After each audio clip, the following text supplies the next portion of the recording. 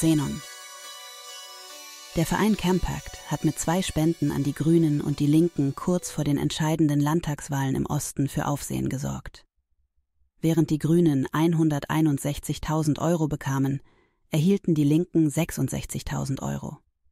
Bei den Geldern handelt es sich nicht um direkte Überweisungen an die beiden Parteien, sondern um Werbemaßnahmen für die beiden Parteien, die unter die Parteienfinanzierung fallen.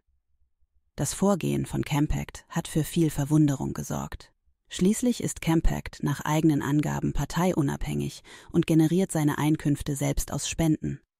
Es steht der Verdacht im Raum, dass es sich um eine Weiterleitung einer Spende eines nicht genannten Dritten handelt.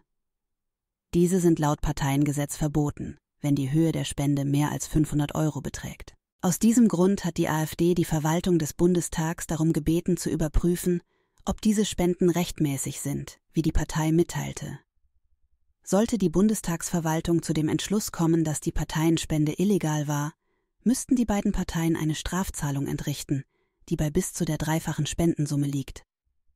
Außerdem bemängelt die AfD, dass Hate Aid, eine gemeinnützige Firma, die zu 50 Prozent im Eigentum von Campact ist, staatliche Unterstützung vom grün geführten Familienministerium bekommt.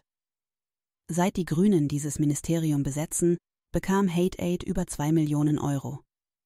Den Grünen wirft die AfD vor, dass sie sich offenbar unter Nutzung ihres komplex verschachtelten Netzwerkes aus Ministeriumsfördergeldern, Vorfeldvereinen, Stiftungen und gemeinnützigen GmbHs auf Kosten aller Steuerzahler einen ungerechtfertigten Vorteil im politischen Wettbewerb zu erlangen.